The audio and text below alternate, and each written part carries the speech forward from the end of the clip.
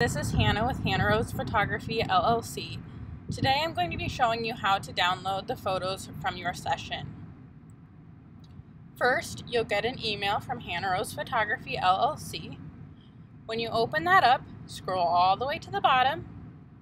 There you will see the code for your free images included with your session, and you'll also see a link to your photo gallery. Click View Photos, and your gallery will open. Click Open, and these will be all the photos available from your session. Sometimes it takes a second to upload or to load the bottom ones, so just give it a minute. First, I'm going to go through and I'm going to select my favorites by hitting that little heart, and then I'm going to enter my email so that if I get distracted or have to leave the website for anything, my favorites list is saved. Next, I'm going to go through and I'm going to select 10 images because that's what was included in this session. So one, two, three, four, five, six, seven,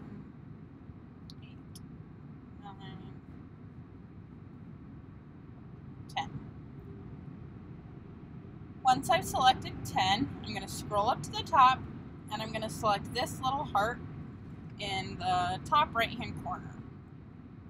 This will take me to my favorites list. Here you can review your photos, make sure that those are the ones you want. If you want to remove any, just click this heart again and you can hit remove. In this um, area you can also add notes such as my absolute favorite, for future reference. Make sure you hit save. Next, I'm going to go back to the top right hand corner and I'm going to hover over the print store option and then go to single photo download. From there, I'm going to select buy downloads.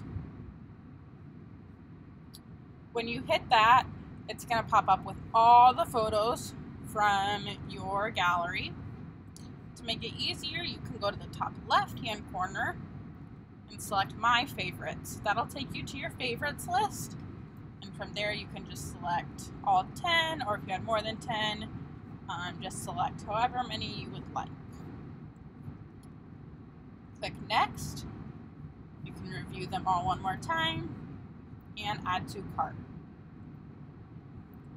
From there, we're going to go to Proceed to Checkout.